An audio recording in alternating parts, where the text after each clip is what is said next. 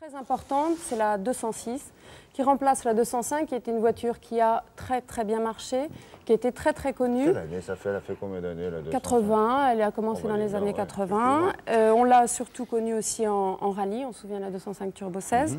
Donc l'ambition pour Peugeot, c'est une ambition mondiale, c'est de, de vendre énormément cette voiture, de la décliner dans plusieurs versions.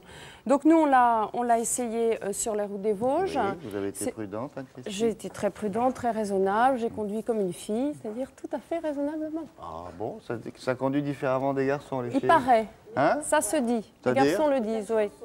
Les assurances sont moins chères pour les filles Oui. Bon, Oui, on oui. va se déguiser, les gars. C'est pas pour rien. Bon, alors elle a été dans les Vosges avec la 206. C'est une euh, full option euh, ou alors c'est une On a- normale On n'a pas pris une full option, on a pris une deuxième, on a pris la 1 litre 4 qui, est la 4. deuxième. Ouais. Euh, C'était pas le, le haut de gamme, mais enfin ça nous a permis de voir un petit peu, euh, de découvrir cette voiture. Bon.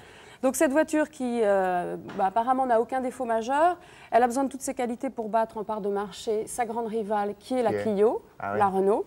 Donc elles sont toutes les deux concurrentes. On va découvrir tout de suite en, en image Allez. cette voiture. Sinueuse pour voir un petit, peu, le, un petit peu le comportement de cette voiture. C'est vrai qu'elle est très agréable à conduire. Pour ceux qui connaissent la 306, c'est la même impression de sécurité.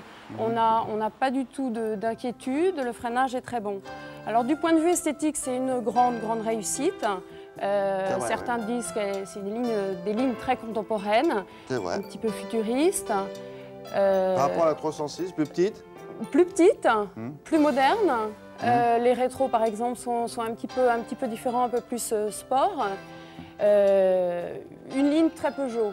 hein, on reconnaît bien les lignes, les lignes Peugeot. Une allure peut-être plus agressive.